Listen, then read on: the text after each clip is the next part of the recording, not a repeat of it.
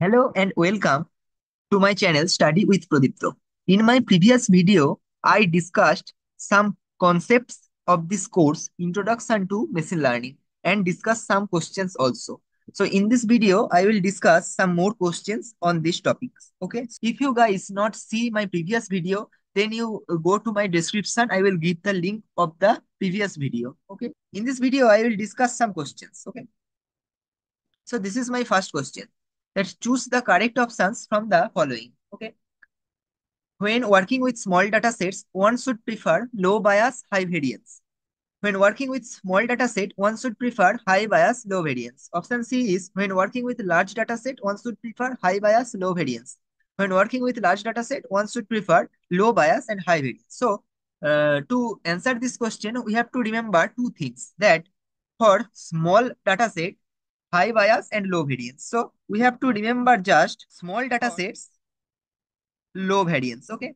And for large data set, high variance, okay? And bias will be automatically the opposite of the variance, okay? If low variance is there, then high bias. If high variance is there, then it will be low bias, okay? So for small data sets, low variance and high bias will be preferred, uh, low bias and high variance. And uh, option D, see that when working with a large data set, one should prefer low bias, high variance classifier over high bias and low variance. So B and D is my option.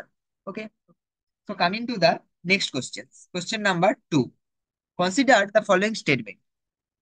In the forward stepwise selection, in each step, the variable is chosen which has the maximum correlation with the residual, then the residual uh, is replaced on that variable and it is added to the predictor. And statement B is, it is told that in forward stage-wise selection, the variables are added one by one to the previously selected variables to produce the best fit till then.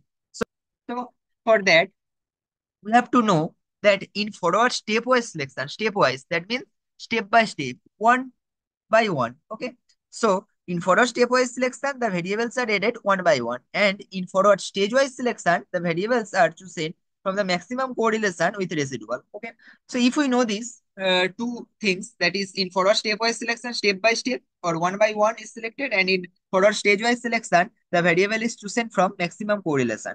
So by these two, we can come to conclusion that both the statements are false. Okay. So coming to question number three. Given a training dataset of 500 instances with each input instances having six dimensions and each output being a scalar value. Okay.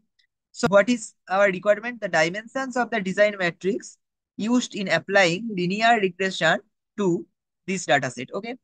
Uh, there is a equation we have to remember that dimension of design matrix will be number of instances into number of columns. Okay. And number of columns is equal to features plus one bias term. Like features means dimensions here. Here is six dimension is there. Six. So six will be there. That means six plus one is there for the bias term. So six plus one is seven.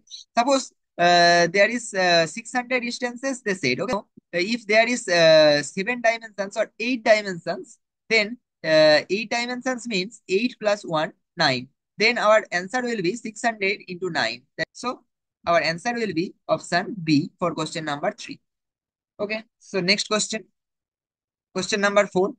That let a m cross n matrix of real numbers. Okay, the matrix AAT, the matrix AAT has eigenvector x and with eigenvalues p then eigenvector y ATA. Okay. That means y is the eigenvector of this AT into A. So we have to uh, know that A into AT is not same as AT into A. Okay. There is a difference between these two because uh, for matrix multiplication, uh, the column of the first matrix will be same as the column of the, the row of the second matrix. Okay. So if this is uh, same, that means the column of the first matrix is same as the row of the second matrix, then we can multiply two matrices. And if eigenvector and eigenvalue is given, then we can write this equation like that. AAT into x is equal to b into x. Okay, so this is our eigen uh, value and this is our eigenvector. Okay. Next, we have to find out what is the eigenvector. That means in this place of x, what will be there in case of ATA. Now, uh, like that. Okay. So multiplying AT on both sides, what do we get? AT into AAT. Okay. In this side, we multiply AT. In this side, we also multiply AT. Okay. Now, uh, AT into A. These two terms we selected. Okay. AT into A. Okay.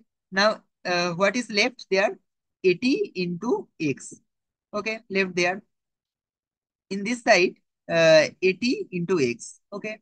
This AT and this X. So, B is there. So, if the eigenvalue is B and ATA is my matrix, then ATx is there on both sides. Okay, there is ATx, there is ATx. So ATx is our eigenvector. Okay, so our answer will be AT into x. And this might come into your exam. Okay. Now coming to question number five. The following table gives the binary ground truth tables yi for four input points xi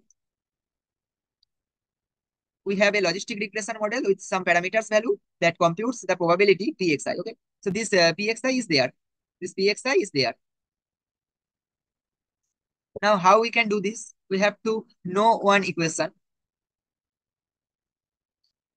that L equal to phi 1 to n pxi to the power yi 1 minus pxi to the power 1 minus yi. Okay. Now, what is this pxi? pxi means for this first case, Pxi is equal to 0 0.8 and Yi is equal to 1. Okay. That means uh, 0 0.8 to the power 1 into 1 minus 1 minus Pxi. Pxi means 0 0.8. So 1 minus 0 0.8 to the power 1 minus 1. So 1 minus 1 means 0. So 1 minus 0 0.8 that is 0 0.2 to the power 0. Okay. This will give 1. So 0 0.8 will be our first term. Okay. 0 0.8. Now uh, in this uh, in the second case uh, uh, like it is same as this 0 0.8 so 0 0.4 will be there and in this last case 0 0.9 will be there. But in this case the y value is 0 so 1 minus 0 we will get 1 and here 0 0.2 to the power 0 because uh, the y i value is 0 so 0 0.2 to the power 0 means 1 and 1 minus 0 0.2 means 0 0.8 uh, in so 0 0.8 so this fourth term if we multiply then we will get 0 0.2304 so 0 0.230. So option B is our answer. Okay. Now coming to question number 6. The parameter obtained in linear regression can take any value in real space. Okay. So this will be our answers. The parameter obtained in linear regression can take any value in real space. Okay. These things we have to remember. Now question number 7. Uh, given the following data set consisting of two classes, A and B, calculate the prior probability of each class. Okay. This is our option, uh, option A, option B, option C, and option D. So we have to uh, know two things that PA and what is PB. So PA is equal to number of instances in class A and total by total number of instances. So what is number of instances in class A? Number of instances means 1, 2, 3, 4, 5. Uh, number of instances in class A is 5 and total number of instances is 8. So if we uh, count this uh, number, then 1, 2, 3, 4, 5, 6, 7, 8. So 5 by 8 will be the answer probability of A, class A, that is PA. Okay, so 5 by 8, 0 0.625. Now, uh, same as probability of PB, you do yourself that 1, 2, 3. So 3 by 8.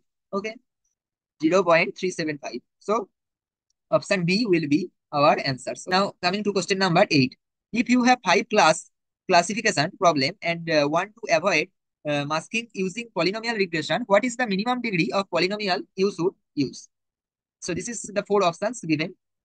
And for this, we have to remember uh, one equation that is k minus 1. Minimum degree. That's minimum degree will be k minus 1. Now, what is the value of k here?